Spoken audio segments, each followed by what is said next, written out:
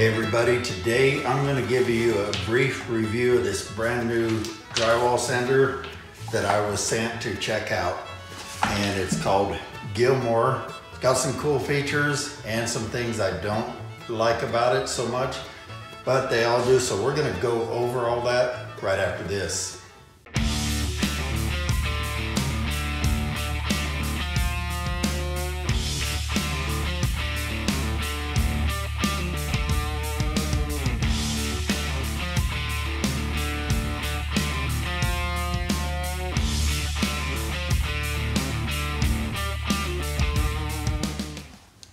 Okay, if you're new to my channel, welcome to my channel here at That Kilted Guy Videos. My name is Guy Persola.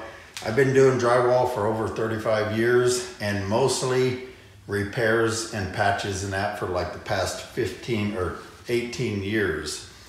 And today what I wanna do is go over this drywall sander. I actually have three of them now. Here's two right here. And my third one is my oldest and one of my favorite, which is my Porter cable. But these two do have some advantages and they do work pretty well in some ways. So we're gonna go over that today.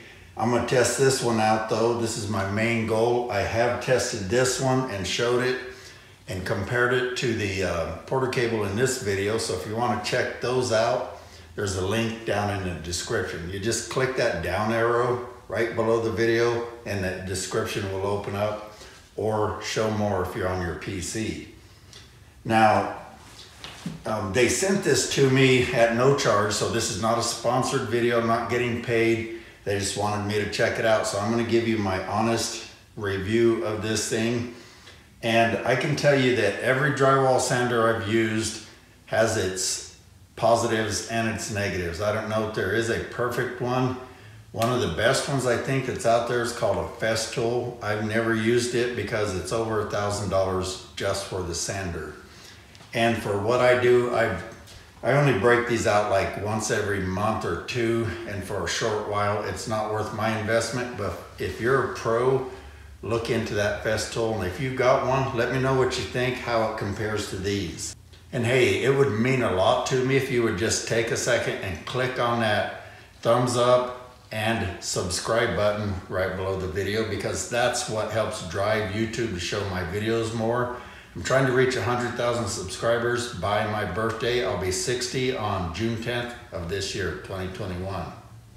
So I'm semi-retired. I'm doing this one because I wanted to help this lady out. She has cancer. She's going through chemo and she, um, they're having to sell their house because of all the expense of the chemo you know, in America here, we don't really have the best health care. So I'm trying to do this really cheap. I bid it uh, at a really fair price and then I'm doing a lot more than I said I would.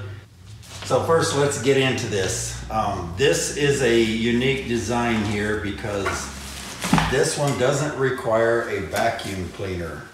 It's supposed to hook right straight up to this bag and contain it in there. So let's see which end do I hook in here.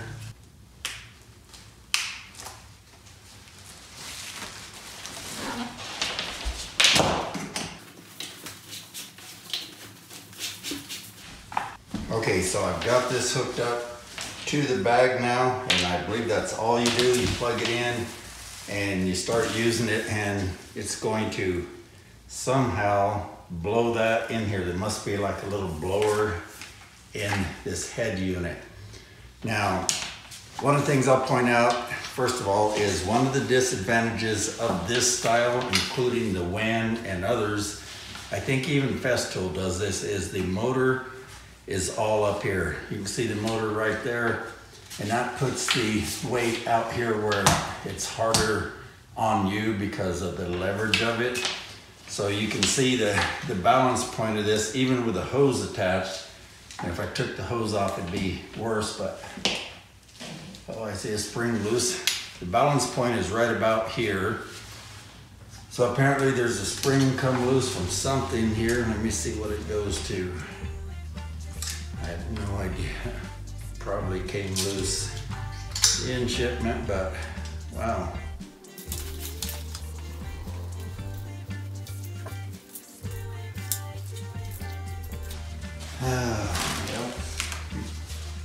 Issue number one. I have no idea where that spring goes. And the drawing here is not the greatest, so I'm not sure that it's gonna do me any good. I may have to go on Amazon and, look and see where the heck that spring goes.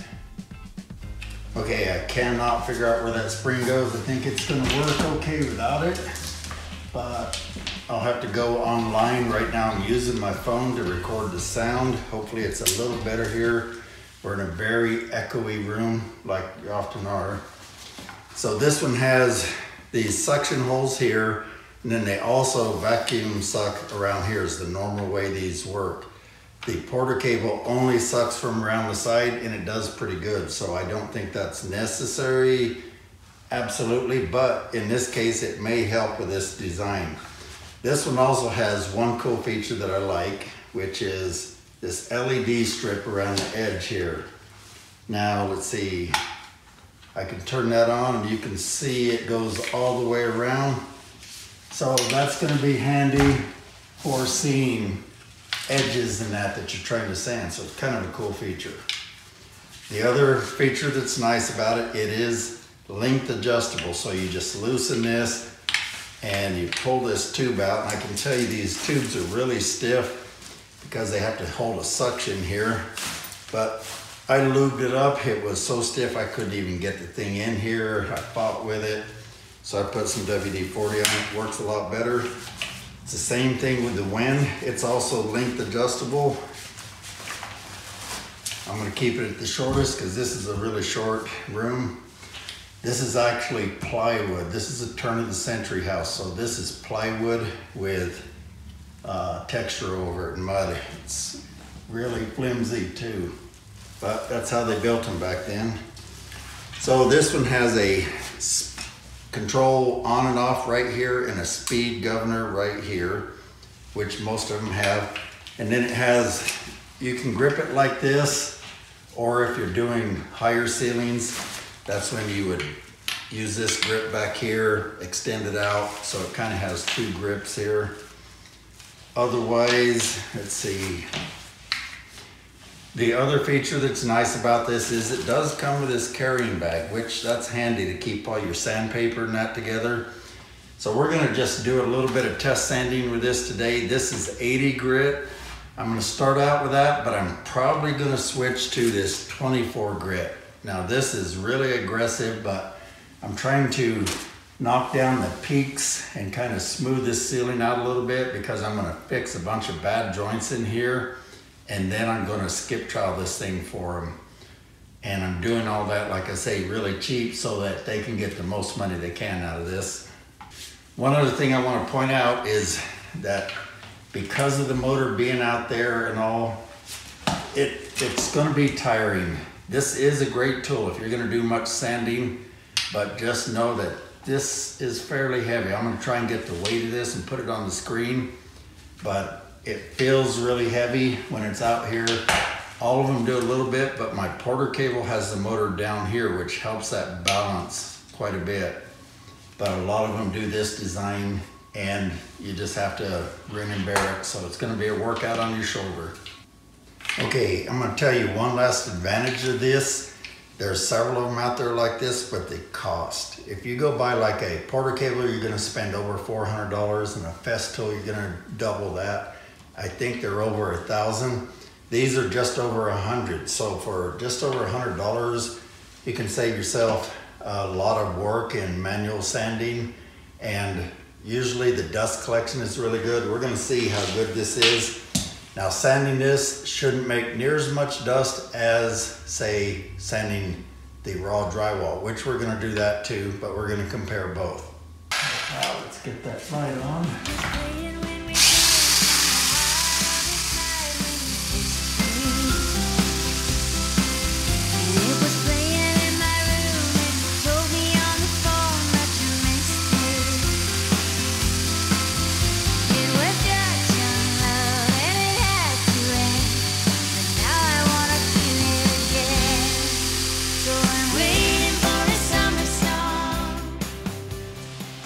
So far, no dust in my face, haven't felt anything.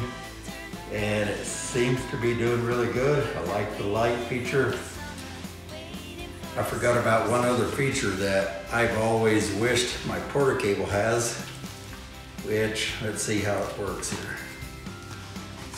You can remove this when you need to sand right up tight to an angle or something. It'll give you just a little bit closer sanding.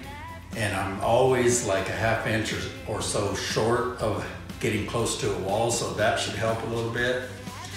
Now we're gonna switch to the 24 grit to see how that does.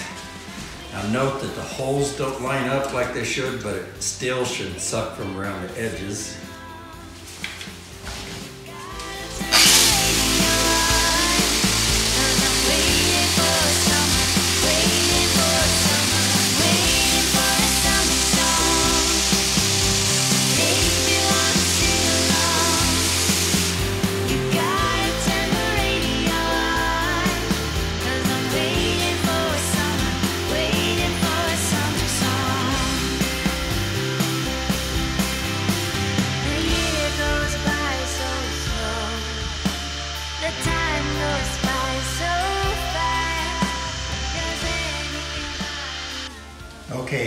If you saw any dust fall out like that, they all do that.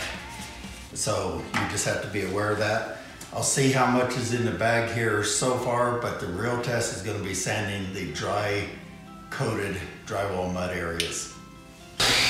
Okay, this is a big patch I had to do for a really bad ceiling repair. I'll do a separate video on that and you can see some dust gets away right there. That was my fault. If you don't hold these things tight to the ceiling, they will shoot dust out.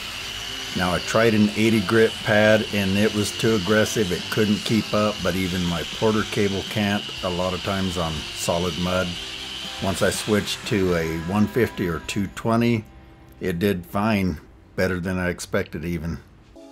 So here's my final take on this sander. Overall, I think it's a decent sander. Now, the person I would recommend this for is someone who doesn't want to lug around a vacuum cleaner, or maybe you don't own one. If you want the simple design like this, or if you like any of these features like these LED lights and the removable side, hey, this thing will get the job done for you and save a lot of dust. Now there are other models out there to consider if you want to hook up to a vacuum. There's others that will do that. And for pros, if you're going to be using these a lot, I would recommend going ahead and investing in something like a Porter cable or a Festool, but now they actually have cordless drywall sanders. You still have to hook up to a vacuum, but you do have that freedom of no cord, and I can see some advantages, so I plan to review those fairly soon. And hey, before you go, as a lot of you know, I put these videos out for free, and it's a lot of work. An average video can take me 8 to 15 hours just to shoot and edit. And then there's all the promotion time, and there's actually quite a bit of expense in doing this uh, thousands of dollars in equipment. Uh, we have all kinds of expenses.